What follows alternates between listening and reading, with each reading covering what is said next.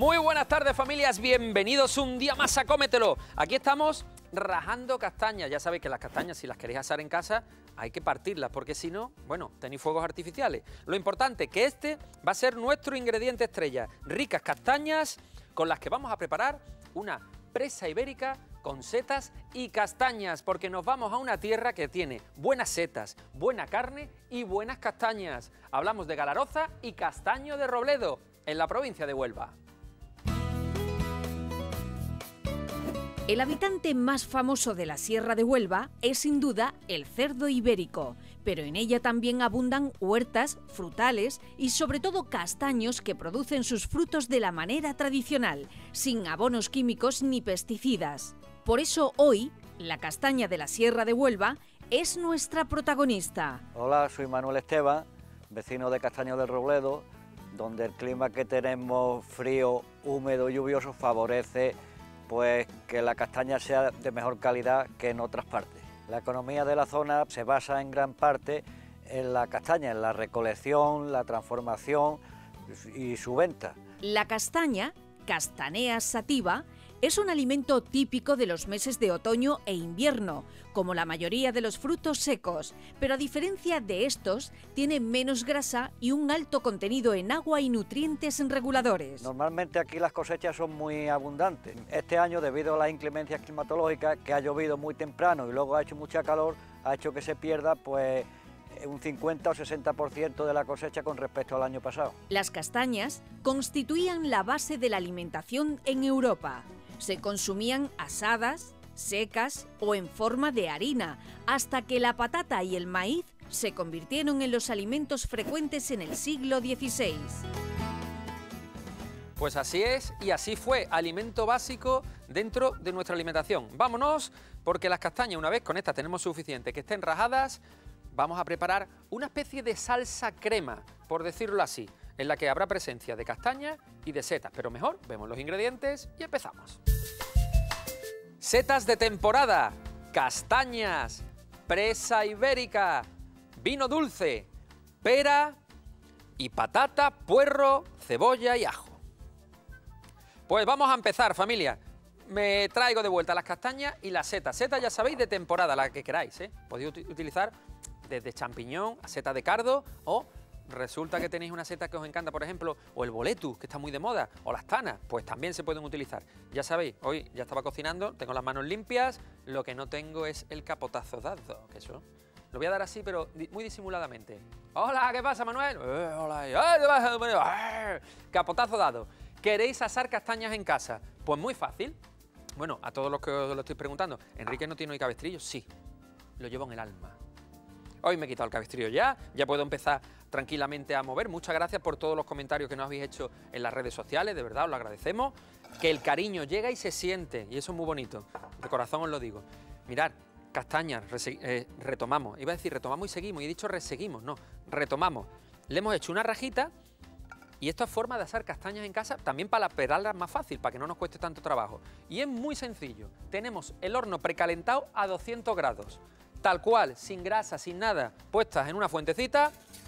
En 20 minutos las tenemos, lo único que de vez en cuando le tenemos que mezclar un poquito, le, damos con una cuchara, la removemos para que le llegue el calor bien a todos lados. 200 grados, unos 20 minutos. Y vámonos, porque vamos a hacer la salsa que os decía, salsa, crema, como queráis. Si hace más cantidad es una crema y si hace menos cantidad es una salsa. Le damos temperatura, que se ponga bien calentito, aceite de oliva virgen extra que nunca falte, un pelín, cubrimos la base. Muchas veces para estas cremas, cuando se usan las castañas, por ejemplo, se suele usar mantequilla, aceite de oliva virgen extra. Y ponemos, mirar qué fácil, vamos a poner media cebolla.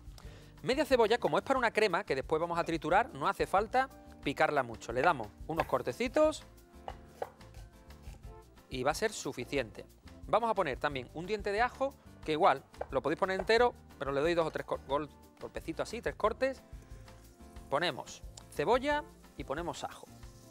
Vamos a poner el blanco de un puerro, que le quitamos la peluca, le quito un corte así, finito, finito, solo, solo, solo la superficie, para poder retirar esta primera capa de puerro. Esto no lo queremos, esto va fuera.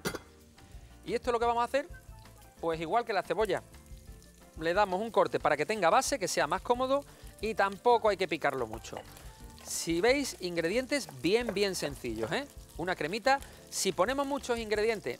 ¡Opa! Y que se me cae. Si ponemos muchos ingredientes para hacer una crema, lo que nos ocurre es que al final, si el sabor de la seta es un sabor muy delicado, pues todas las verduras o los ingredientes en exceso que pongamos van a ocultar el sabor de la seta y no es lo que queremos. Pongo ahí, pongo ahí. Me estoy dando cuenta, Amador, que he recuperado el movimiento del brazo, pero la puntería sigo teniendo la misma mala puntería de toda la vida. ¡Qué barbaridad! Movemos. Mira que la cacerola, oye, que es grandecita y que el puerro chico, pues ha caído casi más puerro fuera que dentro. Bueno. ¿Eh? Soy así, soy así. Un poquito que se ha quedado aquí. Venga, para adentro, puerro. Ahí. Seguimos. Mirad, le vamos a poner setas. Yo tengo aquí tres tipos de setas. Pero insisto, la que más os gusten, se puede hacer con cualquiera. Yo tengo los níscalos, que yo creo son famosos. Esta que no se ven muchas veces, que se llama lengua de vaca y estas setas que son setas de chopo. Estas de aquí. Pues vamos a poner, si os parece, un poquito de todas. Después voy a usar la mitad de las setas para la crema y la otra mitad la vamos a usar para guarnición. Venga, ponemos unas cuantas por aquí. Yo creo que para la crema con esto tenemos suficiente. Venga, voy a poner una más de esta. Aquí, que está muy bueno. Que no se me vaya a quemar la verdurita. Ahí va. Entonces, estas las podemos picar tal cual. No hace falta lo mismo que nos ha ocurrido con las verduras. Picarlas muy pequeñitas porque se van a hacer tranquilamente ahí, se van a cocer después, le vamos a añadir agua. Y como veis, agua, setas, cebolla, puerro, ajo.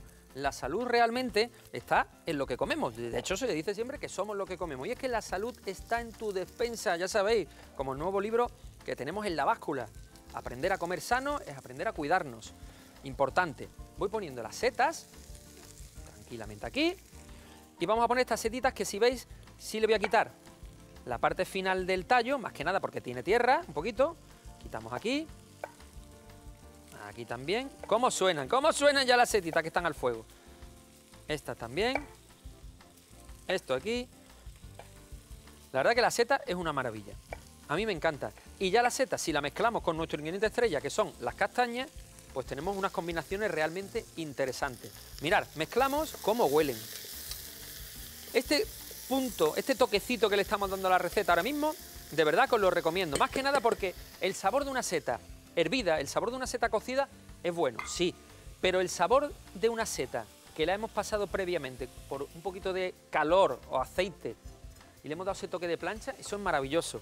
Entonces eso es lo que buscamos aquí, que coja ese saborcito. Vamos a dejarla que se rehogue un poquito y como queremos que tenga espesor, es opcional. Se le puede dar espesor con un poquito de patata. Si veis, cuando digo poquito, realmente poquito. Es una patata bien pequeña, no nos interesa que sea muy grande la patata, porque si no, tendríamos una crema de patata con un poquito de setas. No, no.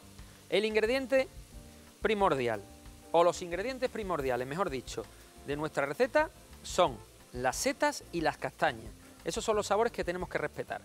Las castañas, evidentemente, las, las vamos a echar peladas, por eso las estamos asando nosotros, pero que igual que la estamos asando para pelarla, la podemos asar así para comer castañas en casa, ¿eh? que también vale.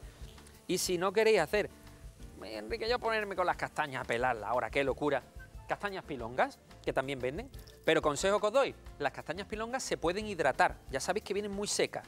Pues nosotros en lugar de utilizarlas tan secas, las ponemos por ejemplo la noche antes en remojo, en agua, en vino, en leche, donde queráis y se ponen blanditas y ya las podemos utilizar y después podemos triturar. Porque como tratéis de triturar castañas pilongas sin haberla hidratado o bien cocidas, vamos, la batidora se va a acordar de vosotros.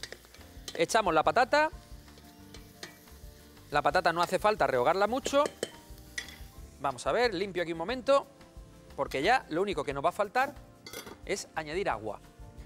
Tiempo que le estamos dando a nuestras setas para que se rehoguen, os decía, para que cojan ese saborcito diferente, ese saborcito, ese toque bueno. Y además le vamos a dar el meneo, el meneito a las castañas del horno. Aquí, para que piensen que no nos hemos olvidado de ella. Porque claro, imaginaros las castañas. Qué vida la de la castaña, ¿eh? La castaña está en su árbol protegida con su abriguito, ya habéis visto que son preciosas, y de repente dicen, me caigo al suelo, me quitan el abrigo, me llevan, me ponen en una tabla, me cortan, me, me abren una raja y ahora me meten al horno. Esto no puede ser, entonces ya que le hemos hecho todas esas cosas, me voy a acercar y le voy a hablar con cariño. Y le voy a decir, no te preocupes, castañita, que yo estoy contigo. A ver, mira, Amador, ven, vamos a, vamos a hablarle, hombre, que da pena las castañitas. Castañita, que estamos aquí, Amador y yo, bueno, Amador y yo y todos nuestros amigos que nos están viendo. Mira, mira, ¿ves? Ya, ellas están contentas. ¿Veis cómo se van poniendo? Pues esto, cuestión, nada, de unos poquitos minutitos más, muy poquitos, y veréis qué bien se pelan. Ahí las tenemos. Esto por aquí, vamos a dejarlo por aquí mismo. Y agua, agua, que me falta la agüita. Voy a poner agua, sal y pimienta, ¿eh? Y ya está. ¿Le podéis poner caldo? Sí, se puede poner caldo, pero el agua le va a ir muy bien. Ahí está. Agua, no mucha, no mucha. Siempre ya sabéis que en todas estas cremas es más fácil añadir después agua si vemos que nos queda muy espesita a tener que arreglarla porque nos quede muy líquida. Entonces, ¿veis la cantidad? Poquita. Ahí. Sal Ahora digo sal y se va Amador. Ah, sal de condimento, el condimento más usado del mundo, la sal. Sal y pimienta, recién molida. Y esto requiere un poquito de tiempo de cocción, pero todavía recuerdo que le faltan las castañas. Eso después del repaso. Hacer unos pequeños cortes a las castañas, disponerlas en una fuente de horno y asarlas a 200 grados durante unos 20 minutos, removiéndolas de vez en cuando. Para la salsa, picar y rehogar media cebolla junto con un diente de ajo fileteado, el blanco del puerro troceado y la mitad de las setas. Pelar, lavar y añadir la patata troceada, cubrir con agua, salpimentar y dejar hervir a fuego medio.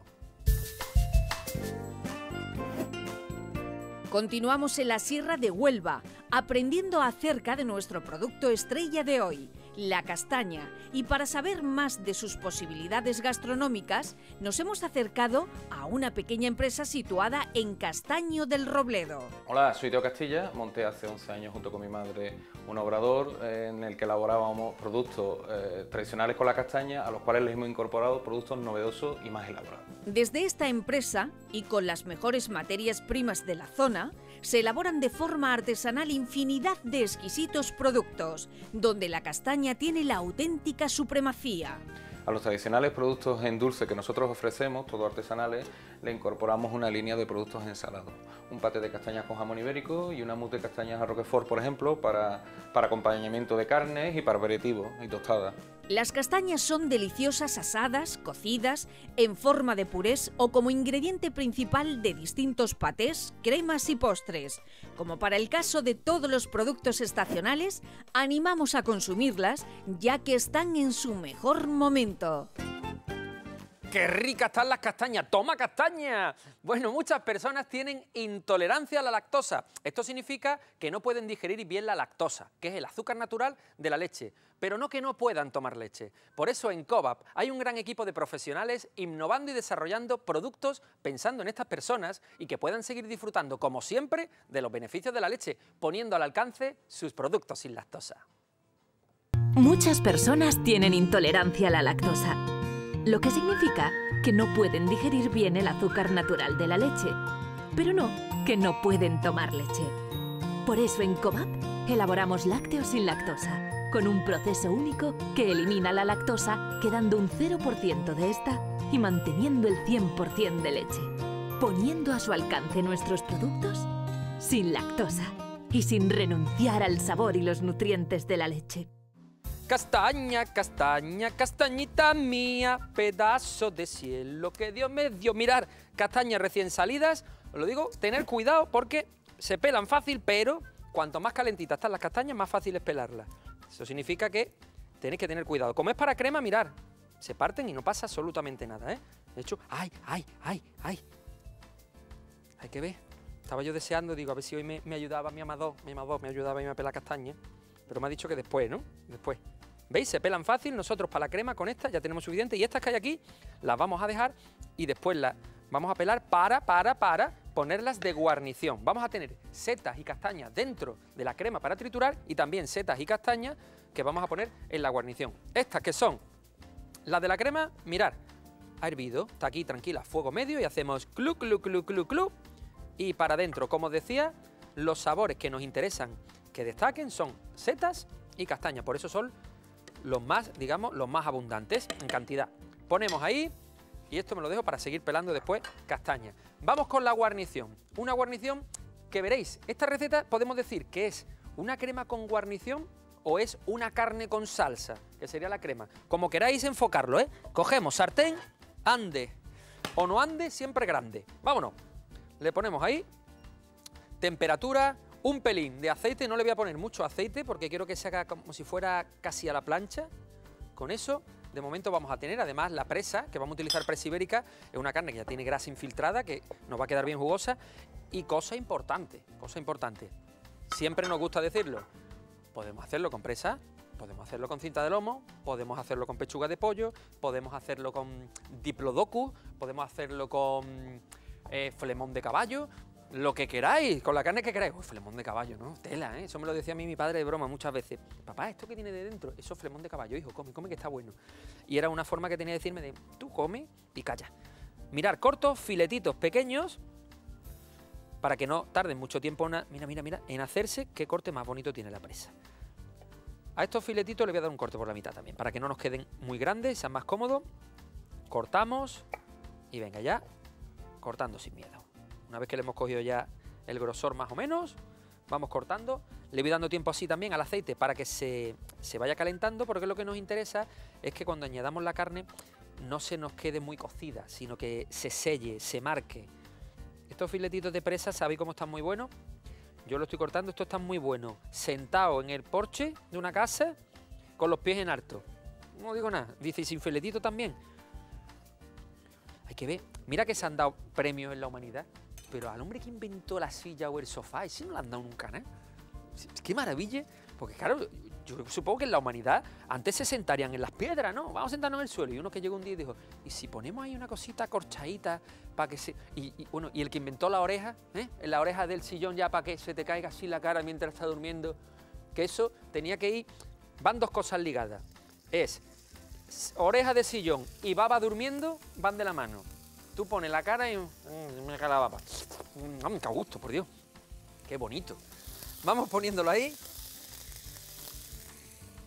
No hace falta extenderlos perfectos, ¿eh? yo estoy poniéndolo al principio, pero después vais a ver cómo, si alguno cae por encima, se lo vamos a poner, porque es un salteado lo que vamos a hacer. Salteado significa no mucho aceite, este aquí con cuidado, significa que no tenga mucho aceite y que fuego fuerte, y vamos a mover el movimiento de saltear. Vamos poniendo, ponemos toda, ahí está, listo. Y ahora mirad, lo dejo de momento, no lo voy a saltear todavía porque quiero que la, parte de la carne que está contra la sartén se siga dorando. Mientras se va dorando, cogemos media cebolla restante, quitamos el culín de la cebolla y esta la vamos a poner, pues mirar, no la vamos a picar muy fina, le doy unos cortes así a lo largo y después un corte por la mitad. Y listo. Aquí vamos a cortarla bien, que se quede separada. Ahí está. Los ajos los vamos a poner enteros, le doy un golpecito, cogéis, ponéis el cuchillo y golpeáis. Ponemos el cuchillo y golpeamos. Ahí está. Eso ahí. Esto fuera.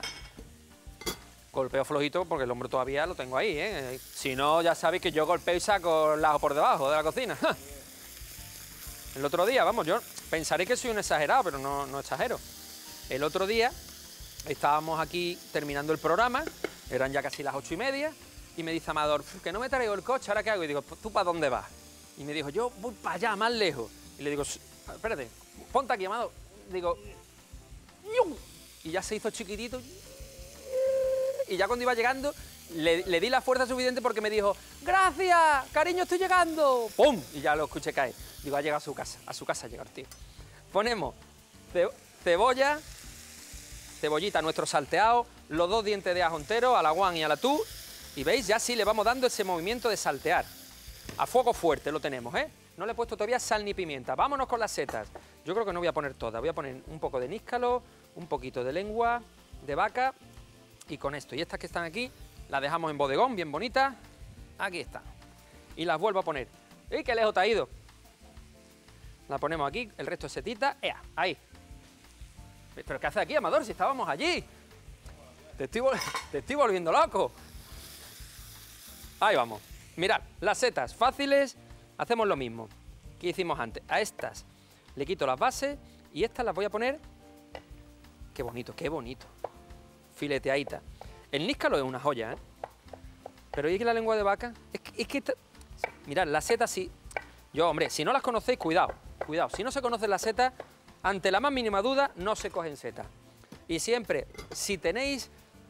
Dice, es que yo soy un experto, he cogido seta toda la vida. Siempre se recomienda guardar una, sin comer, por si pasa algo que pueda ir al hospital. Oye, he comido esto y no sé, porque a ver, explícale tú.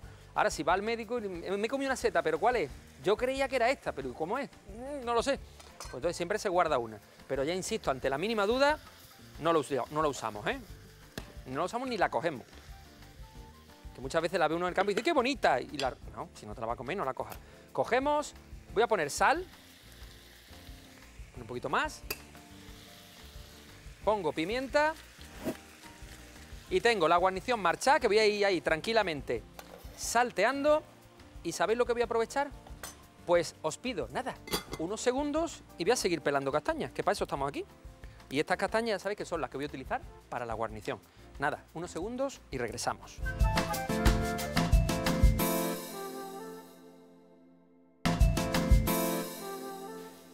Pues familia, salteadito, mirar qué pinta tiene, qué brillo nos está cogiendo y todavía va a coger más brillo, porque le voy a poner las castañas, la, castaña no le va a dar brillo, se lo va a dar el vino. Antes de echar las castañas, ¿alguien quiere comerse una castaña peladita? Voluntario para todo, para todo es voluntario. Pues castañas peladas, mirar, echamos el resto de las castañas peladas, seguimos salteando y le vamos a poner un toque diferente. Ya sabéis que en Cómetelo nos gusta darle ese toque a los platos así como, ah, lo prueba uno y dice, oye, esto qué rico está. Es que es el, el toque Cómetelo. Pues toque Cómetelo es una pera bien lavada, cogemos, cortamos alrededor del corazón. Es importante que esté bien lavada porque la vamos a poner con piel. Ahí, cortamos aquí, corto aquí. Yo recuerdo muchos días en la cocina cuando estábamos trabajando en los restaurantes que llegaban a lo mejor y decíamos, y ahora le vamos a dar el toque maestro a esta receta. Y, tenías una aprendida al lado, un chico aprendido, y le decía, mira, coges la pera, la pelas, y una vez que la pelas, que la tienes así, tienes que dejar eso rehogar unos 20 minutos y mientras te vas comiendo la pera, y te ponías a comer la pera. ¡Ay, broma! Pues la pera, ya habéis visto, hemos cortado alrededor del corazón, corto unas láminas finas, para esto nos interesa que la pera no esté muy, muy madura, sino que si está un poquito dura, pues mejor que mejor porque así mantiene más la textura. La pera nos va a aportar su dulce natural, nos va a aportar una poquita de textura fresca y además pues nos crea contraste en el paladar, que siempre es bueno, que no se aburra el paladar comiendo. Ponemos pera, no os preocupéis por la cantidad de pera porque la pera cede, la pera en cuanto recibe temperatura es como la manzana, y entonces se viene, se viene un poquito así abajo, y entonces parece ahora igual que es mucha, pues ya veréis cómo no es tanta. Ponemos pera, remuevo un poco, mira, mira, mira, mira, mira qué pinta va cogiendo esto. Y una vez que tenemos removida la pera, vino dulce, copita de vino dulce. Esto es lo que os decía que todavía le faltaba a esta receta brillo por coger. Cuando el vino dulce se haya evaporado, ya tenemos nuestra receta lista para comer. nuestra carne salteadita, nuestro salteado de presa con seta y castaña. Mientras eso pasa, nosotros aprovechamos el tiempo. ¿Y qué hacemos? Tenemos crema, cogemos, enchufamos aquí y trituramos cremita. Apago fuego y mirar, si veis, caldito, poco. Por eso tengo ahí la jarra de agua, porque si hiciera falta, siempre es más fácil añadir que tener que arreglar. Vamos triturando, vamos triturando y lo que buscamos es una cremita bien espesa. Bien espesita, ahora le doy más fuerza. Va bien, no va a hacer falta más agua. Mirad, mirar qué pinta va cogiendo esto. Pues paciencia es lo único que necesitamos. Lo vamos a tener aquí batiendo y ya sabéis, aprovechando que se va evaporando el vino. Hacemos el último repaso y venís y ver cómo queda esta crema, que no voy a colar, no creo que la vaya a colar, la voy a triturar muy bien, muy bien, muy bien, pero no colaré para no perder nada de sabor. Disponer la mitad de las castañas peladas en la cacerola para que hiervan con el resto de ingredientes comenzar a saltear la presa ibérica cortada en finos filetes, incorporar la media cebolla restante junto con dos ajos enteros y golpeados y algunas setas troceadas, salpimentar y dejar cocinar unos minutos. Pelar el resto de las castañas, añadirlas a la sartén de la carne, Agregar la pera cortada en láminas, saltear y verter la copa de vino. Dejar al fuego hasta que el vino se evapore. Y finalmente, triturar la crema de setas y castañas.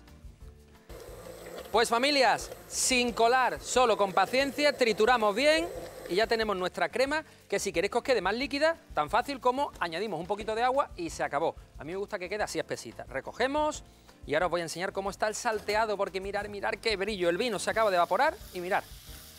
Ha quedado como glaseado todo. Apago fuegos. Vaya pinta que tiene eso. Vaya pinta que tiene eso. Está para chillarle. ¡Ah! Vámonos, ya le he chillado. La crema, vamos a poner primero crema de setas, por ejemplo. En la base del plato Voy a poner un poco, como si fuera una salsita. Nos venimos aquí. Siempre para que no chorree, lo ideal es no llenar el cazo mucho. Es decir, no hacerle mucho cazo. Ahí coño. Extendemos.